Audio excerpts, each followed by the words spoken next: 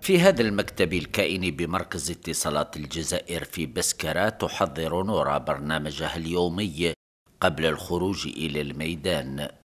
نجي صباح بالعمل كامل نخرج الأوراق تاعهم نوجد لهم الخدمة تاعهم وكل فرقة عندها منطقة خاصة بها ومجال خاص به ومن بعد ينطلقوا في العمل.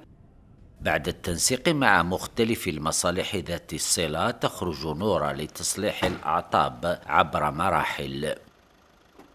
أول حاجة راح نبداو بها راح نبداو بالمركز الهاتفي MSAN تاعنا. ندخل راح نتبع l'abonné تاعي ونشوفه إذا خرج هنا وكملت معاه راح ننتقل إلى العلبة الموزعة واللي هي ال PC كما نقولوا حنا قد لا تصل إلى الحل في المرحلة الأولى فتنتقل إلى مرحلة ثانية إلى حين الوصول إلى الحل. ساعات تقبض نهار complet في abonné فريد. ساعات تقبض نص نهار ساعات في النهار تخدم 20 25 abonné هذه من حالة. الحالة الثانية ساعات تجيك ظروف طارئة تدخلات أوفيسيال وإلا رقم اللي مازمش يبات معطل تخرج له حتى في الليل. تلقت نورة تكوين على مستوى المؤسسة فصار وجودها في الميدان أكثر من وجودها في المكتب.